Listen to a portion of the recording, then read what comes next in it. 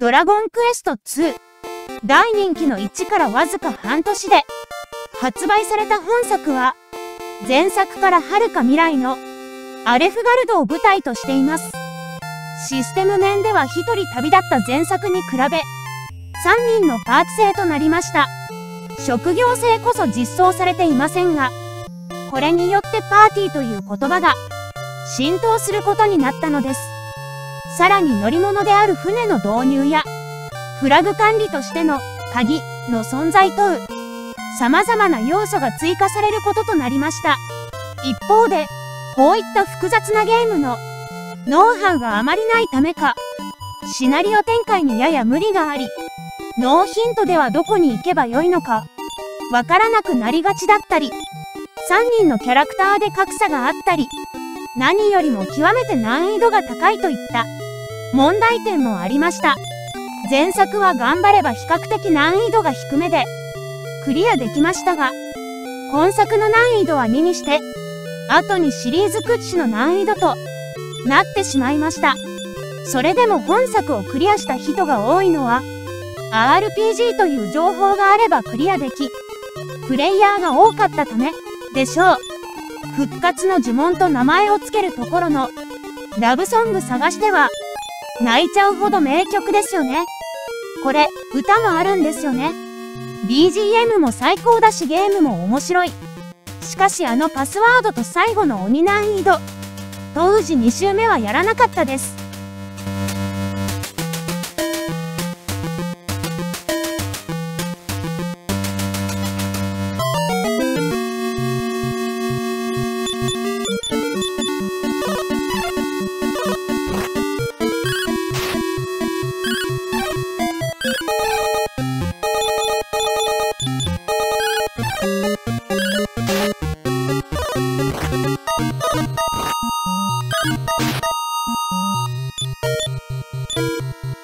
ラゴンバスター。黄金カセットが印象に残る。ナムコのアーケードからの移植です。ファイヤーだけでなく火柱や地震など魔法が増えたり体力回復などのサポートアイテムなど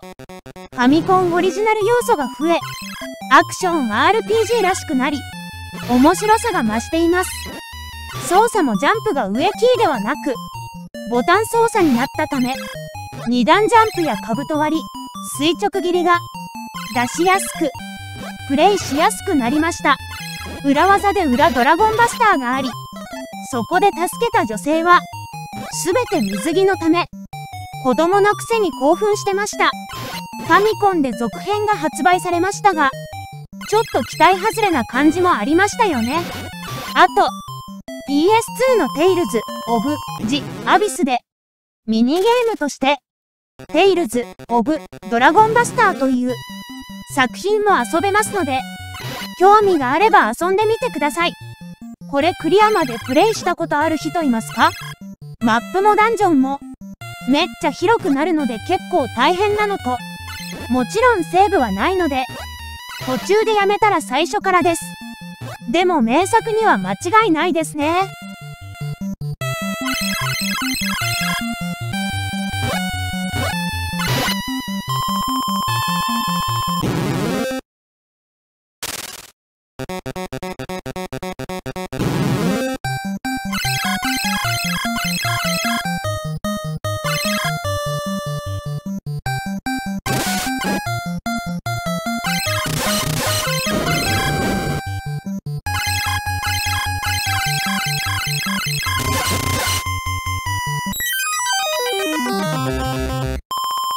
セイントセイヤ黄金伝説。大ヒット漫画セイントセイヤ初のゲーム化。冒頭は原作に忠実になっていますが発売当時アニメ放映途中だったこと。さらに全てのゴールドセイントが登場していなく裏切りの首謀者もわからない状態。などの理由から週刊少年ジャンプで公募したボスが出現する貴重な作品。なお、完結編では原作通りです。増票が意外に強く、ボスとの1対1バトルの際は、HP や MP を自分で振り分けて、能力値を変えて戦うややこしいシステム。ゲームオーバーという概念がないけれど、ボスに負けると少々能力が下がって、コンティニューとなるため、繰り返していくと歯が立たなくなります。基本的にボス戦に勝たないと、ストーリー自体が進まないため、増票との戦いは無意味ではないか。なんてことも言われていました。裏技のパスワードを使わずクリアはしましたが、コスモを貯めるためにわざと負けて、また戦いに行ってを繰り返すのが、さすがにまたしたいとは思わないです。あと富士の風穴は迷いすぎてトラウマです。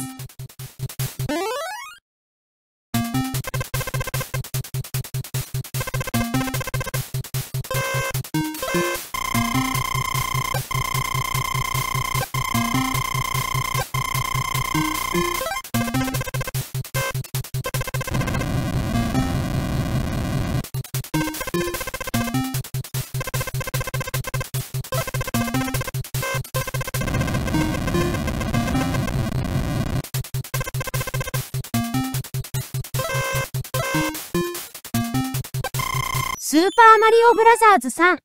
あのマリオも3作目となり、しかもファミコンでは、スピンオフ作品を除いては、最後のマリオということで、ゲームファンの間では、発売日はお祭り騒ぎになりました。前作までの基本をベースに、グラフィックや音楽等全てにおいて、大幅パワーアップしています。内容は、アクション面は今作を象徴する、尻尾マリオが登場します。尻尾マリオになって尻尾を振りまくると、飛距離を伸ばせるので、自己最高記録を狙ってひたすら尻尾を振ったのは良い思い出です。画面表示にフィールドマップも加わり、本当に世界観が広がりました。セーブがないのでクリアは大変ですが、じっくり考えるだけではなく、勢いで突破できたのは快感です。至る所にショートカットや稼ぐポイントがあり、そこを好奇心を鍵に探すのも楽しみの一つです。まだまだクリアタイム世界最短を狙い、挑戦を続ける人がいます。高みを目指すのもいいですし、心ゆくまでファミコン最高と言われる、マリオをプレイして損はないと思います。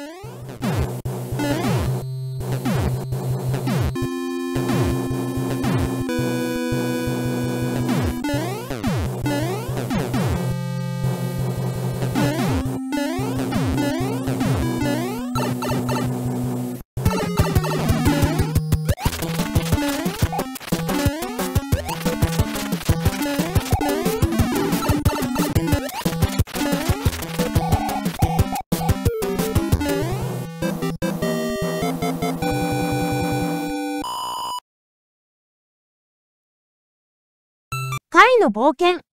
バビロニア神話を題材にした、バビロニアン・キャッスル・サーガのシリーズ第3弾作品。ジャンプアクションをメインとして、主人公であるミコカイが、封印が解けて蘇った悪魔ドルアーガを倒すストーリーです。この操作がとても珍しく、ジャンプボタンを押すと上昇、離すと下降という独特なモーション。調子に乗って押し続けて天井にぶつかると、頭を抱えて一定時間動けなくなる。いわば、やられ放題、となるので、細心の注意を払わないといけません。倒す、とは言うものの、攻撃手段はなく一貫して避けて進むので、アイテムの取得が重要なゲームです。ステージは全60面と長旅になりますが、初代スーパーマリオのように、ワープに次ぐワープで、知っていればものの数十分でクリア。なんてこともできるようです。シリーズの特徴でもあった謎解きは、ないので物足りなく感じる人もいますが、シンプルなルールは子供受けよし。ただ、クリア後のスペシャルステージは、まさにマゾステージというにふさわしい。高難度なので興奮すること必須です。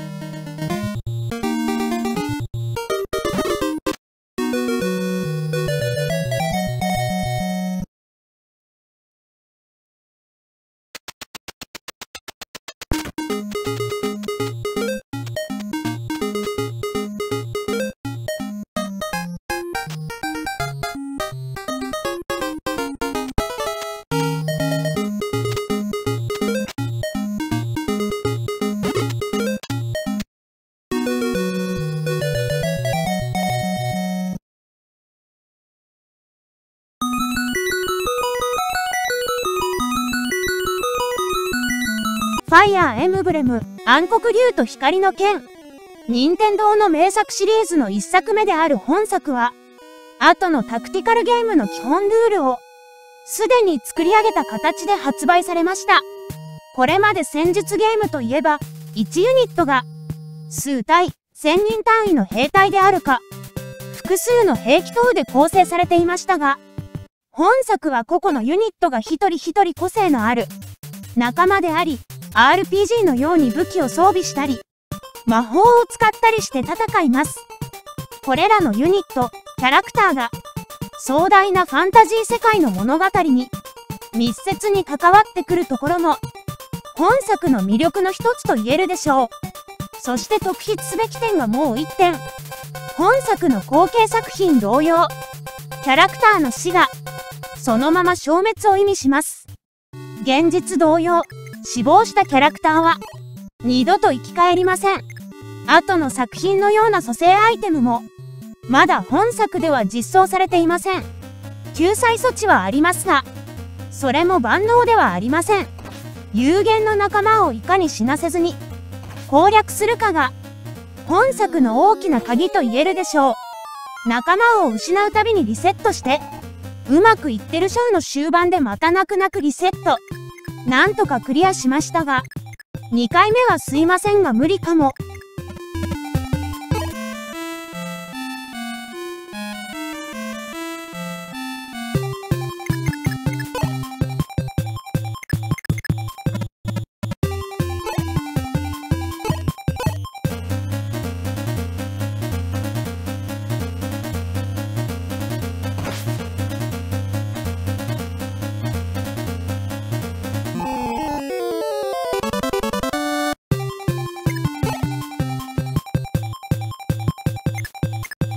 ァイナルファンタジー3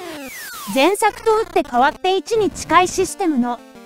本作は3作目にして原点回帰というか。12の反省を踏まえて作られた3でファイナルファンタジーシリーズ各あるべきというものが固まった作品と言えるでしょう。力を与えてくれるクリスタル。キャラクターのジョブ。そして個性的なモンスター。ドラクエが3で一つの完成をしたようにファイナルファンタジーも本作で完成したと言っても過言ではありません。基本的なシステムは1に近いですが、多岐にわたるジョブをポイントが許す限り、どこででも変更できるシステム、どのジョブでクリアしやすいか、どのジョブが強いか、便利かと、教室で議論し合った人も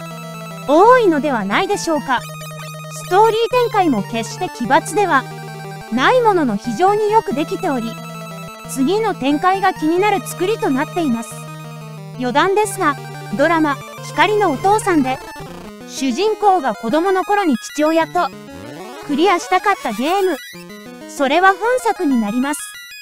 面白いし好きなゲームなんですが、最後の長い長いダンジョンで、脱出が無効化されセーブもできない。挙句の果てに全滅して、何時間もの苦労が水の泡。これが辛かったですね。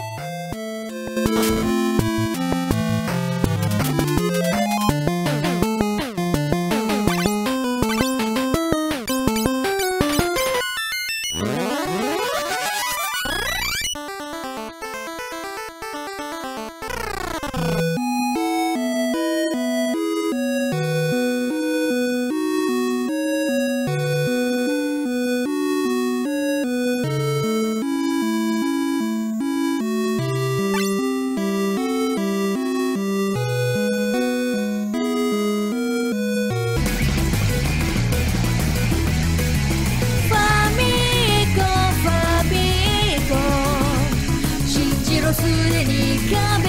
はえている。ファミコン俺たちしかできない。プレイをしない。